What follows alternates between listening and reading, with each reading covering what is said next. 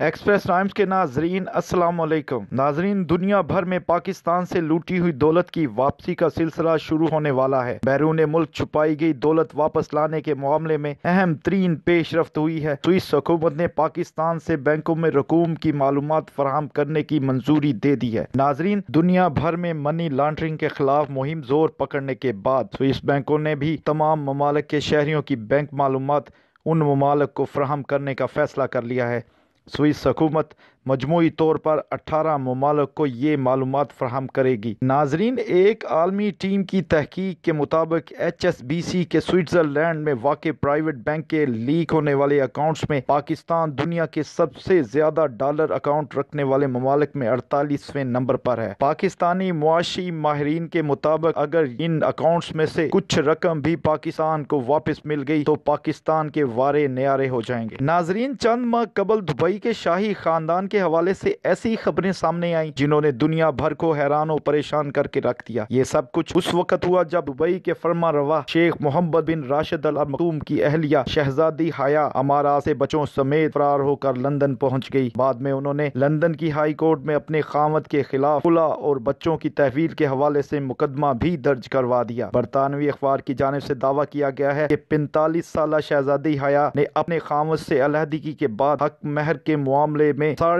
چار ارب پاؤنڈ کا مطالبہ کر لیا ہے، جو پاکستانی روپاؤں میں کئی خرب کی رقم بنتی ہے۔ شہزادی حیا نے لندن ہائی کورٹ میں اپیل دائر کی ہے کہ ان دونوں کے بچوں کی تحویل انہی کو سونپی جائے، کیونکہ انہیں خطرہ ہے کہ والد کے پاس رہنے کی صورت میں ان کی شادیاں ان کی مرضی کے خلاف کرا دی جائیں گی۔ شہزادی حیا اردن کے موجودہ حکمران شاہ عبداللہ دوئم کی بہن ہے اور دبئی کے حکمران شیخ محمد بن راشد المختوم کی چھٹی بیوی ہیں۔ اگرچہ شیخ محمد بن راشد شہزادی حیا سے خاص وابستگی رکھتے تھے اور اکثر سرکاری اور غیر سرکاری تقریبات میں بھی وہ ان کے ہمراہ نظر آتی تھی۔ تاہم بعد میں ان کے درمیان کچھ مسائل پر اختلافات پیدا ہو گئے، جس کے بعد شہزادی حیا کے دعوے کے مطابق انہوں نے امارات چھوڑ کر اس لیے لندن رہائش اختیار کی کیونکہ انہیں خطرہ تھا کہ ان کے خامد انہیں جان سے نہ مار ڈالیں۔ اب دیکھنا یہ ہوگا کہ اس مقدمے کا فیصلہ کس کے حق میں آتا ہے۔ ناظرین، اب بتاتے ہیں بڑی ہی دلچسپ خبر۔ امریکی آرٹ میوزیم کی دیوار پر ٹیپ کی مدد سے چپکے کیلے کو کھانے والے آرٹسٹ نے معافی مانگنے سے انکار کر دیا ہے۔ امریکی ریاست فلوریڈا کے شہر میامی بیچ کے ایک آرٹ میوزیم میں فروخت کے لیے پیش کیے گئے کیلے کو امریکی کامیڈین ڈیوڈ ڈاؤٹا نے دیوار سے اتار کر کھا لیا تھا۔ ڈیوڈ ڈاؤٹا نے جس کیلے کو دیوار سے اتار کر کھایا، اس سے متعلق آرٹ انتظامیہ کو امید تھی کہ وہ ایک لاکھ بیس ہزار سے لے کر ڈیڑھ لاکھ امریکی ڈالر یعنی پاکستانی دو کروڑ سے ڈھائی کروڑ کے درمیان فروخت ہوگا۔ ناظرین، حیران کن طور پر اسی میوزیم میں اسی طرح کے دو کیلے پہلے ہی اتنی قیمت میں فروخت ہو چکے ہیں اور آرٹ میوزیم میں آخری کیلا بچا تھا۔ تاہم، اس کی فروخت سے قبل امریکی کامیڈین ڈیوڈ ڈاؤٹا نے اسے دیوار سے اتار کر سب کے سامنے کھا لیا تھا۔ ڈیوڈ ڈاؤٹا نے کیلے کو اتار کر اسے کھانے کی ویڈیو اپنے انسٹاگرام پر شیئر کی اور کیلے کو کھانے کے بعد خود کو بھوکا آرٹسٹ قرار دیا۔ ڈیوڈ ڈاؤٹا نے تقریباً دو کروڑ پیسے زائد کی قیمت میں فروخت کے لیے پیش کیے جانے والے کیلے کو کھانے کے بعد لذیذ قرار دیا۔ کامیڈین کی جانب سے انتہائی قیمتی کیلے کو کھائے جانے کے بعد خیال کیا جا رہا تھا کہ انہیں گرفتار کر لیا جائے گا یا پھر وہ اپنی حرکت پر معافی ضرور مانگیں گے۔